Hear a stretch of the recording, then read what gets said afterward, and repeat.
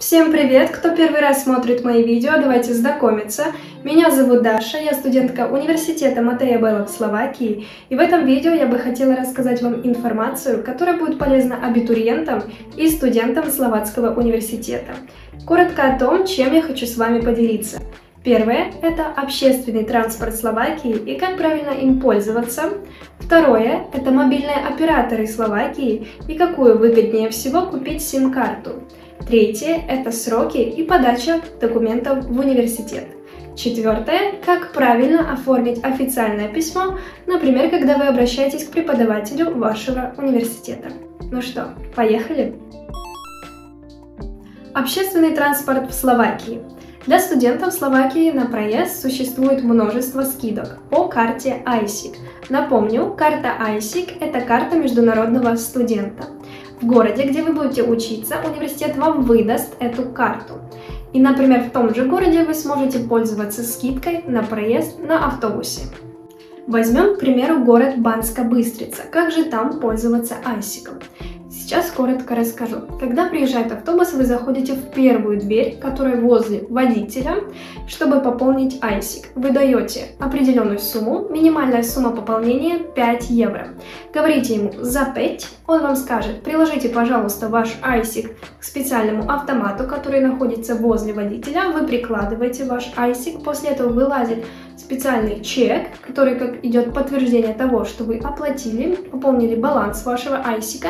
После этого еще раз прикладите вашу карту, чтобы уже заплатить за проезд. Тогда вылетит еще один чек. В следующий раз, после пополнения вашего айсика, вам не обязательно заходить через первые двери, чтобы просто оплатить за проезд. Можно зайти уже через вторые. То есть возле каждой двери будет стоять уже этот автомат. Вам достаточно зайти в автобус, приложить карту, и вы оплатили за проезд. А вот в Братиславе это работает немного иначе. Когда вы будете на остановке, вы увидите большой автомат, где и продаются проездные билеты. Там же вы, имея ISIC, можете купить себе студенческий билет. После этого, когда вы входите в автобус, возле двери будет специальный тот же автомат, где нужно уже пробить именно этот билет. Билет не покупается у водителя. Для того, чтобы узнать график прибытия нужного вам автобуса на нужную вам остановку, рекомендую скачать приложение ЦП. Очень удобное приложение, вы можете выбрать любой город и найти нужный вам автобус на нужной вам остановке. Также с помощью Айсика студенты имеют возможность путешествовать по всей Словакии абсолютно бесплатно. Но для начала нужно сделать проездной. Его можно сделать на железнодорожном вокзале в городе, где вы будете находиться.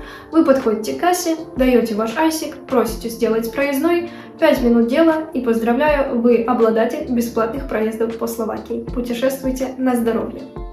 Билет на поезд по Словакии вы можете приобрести в кассе ЖД вокзала или же проще всего через приложение, которое называется Идиме Влаком. После того, как вы получили проездной, эти данные вы должны будете внести в это приложение, чтобы спокойно приобрести себе бесплатный билет. После этого, когда вы приобрели билет, вы его получите на вашей электронной почте. Билет распечатывать не нужно, электронный подходит. Также не забывайте с собой брать и IC, когда будете ехать уже в поезде. Кондуктор проверяет ваш билет электронный, а также ваш и IC. Также по карте ISIC у вас еще будет скидка на FlixBus от 10 до 15%. Как же использовать эту скидку? Для начала вам нужно скачать приложение iSig, войти туда со своими данными в личный кабинет, поиске найти FlixBus, и там вы увидите FlixBus ваучеры от 10 до 15%. Когда вы будете покупать билет в самом приложении FlixBus, там после этого будет возможность ввести номер этого ваучера, чтобы приобрести скидку. Но читайте исключения, например, на поездку во время праздников этот ваучер не работает. Какой мобильный оператор в Словакии выгоднее всего? В Словакии существует четыре компании, которые предоставляют услуги мобильного оператора. Это Телеком, О2, Штворка и Orange. Мы с вами рассмотрим самые выгодные предложения от каждого из мобильных операторов. И первым, кого мы рассмотрим, это мобильный оператор Штворка. Как по мне, Штворка самый лучший вариант, так как я сама ими пользуюсь. Самым более-менее выгодным тарифом от Штворка является, как по мне, Слобода 100+, где дается 12 гигабайт мобильного интернета, 100 минут или же СМС Словацкой Республики или в Европейском Союзе и стоит в месяц 11 евро. 4 евро это при первой покупке номера от Штворки. И, кстати, вам не обязательно покупать тариф, вы можете пополнить на определенную сумму баланс телефона и пользоваться звонками и интернетом. Это в случае, если вы не пользуетесь часто мобильным интернетом и редко звоните. На второе место я поставила мобильный оператор Orange. Самым более-менее выгодным тарифом от этой компании, как по мне, является тариф GoSave Yoxo. Тут даже написано подходит студентам и учителям. В этот тариф входят бесконечные звонки по Словакии и Европе, бесконечные смс и ММС, 17 гигабайт мобильного интернета на месяц и стоимость 16 евро в месяц за этот тариф. На третье место по выгодности для студентов я поставила мобильный оператор О2. Если вы бы хотели себе иметь безлимитный интернет, то нужно будет купить титановый паушал, то есть тариф, который стоит 42 евро в месяц. Но для студентов, думаю, подойдет что-то из этого. Например, есть стреборный, мудрый, а златый паушал. Рассмотрим стреборный, который дает 8 гигабайт мобильного интернета, плюс еще 2 гигабайта интернета. 10 э, центов стоит звонок за минуту и 6 центов одна смс. Стоимость данного тарифа 22 евро в месяц. Тут, как вы видите, немного дороже, чем было в предыдущих мобильных операторах. И на четвертое место я поставила мобильный оператор Телеком, который я считаю менее выгодный для студентов. Самый дешевый тариф стоит 24 евро в месяц, который дает 4,5 гигабайта интернета мобильного плюс еще дополнительные 4,5 гигабайта при подключении дополнительной услуги. Звонки бесконечные, смс, ммс бесконечные. Для того, чтобы купить сим-карту, вам нужно пойти в отделение мобильного оператора или же на почту. И не забудьте взять с собой паспорт, так как номер телефона регистрируется именно на ваш паспорт. И хочу предупредить, что некоторые мобильные операторы не продают сим-карту несовершеннолетним. Для этого кто-то из совершеннолетних может купить ребенку эту же сим-карту, так как он должен подписать договор с этим мобильным оператором. Как и когда подавать заявку на поступление в Словацкий университет? Сроки подачи заявки каждый факультет выставляет на своем сайте. Чаще всего это либо до 31 марта, либо до конца апреля. Также на этом же сайте вы можете найти и ссылку, где вы можете подать электронную заявку. Подавая эту заявку, вы выполняете свои личные данные, а также прикрепляете некоторые документы важные. Один из них это резюме. На словацком это животопис. Как сделать животопис, вы можете найти в интернете. Также при подаче заявки вы должны еще и оплатить за эту заявку. Цены также есть на сайте факультета, выбранного вами.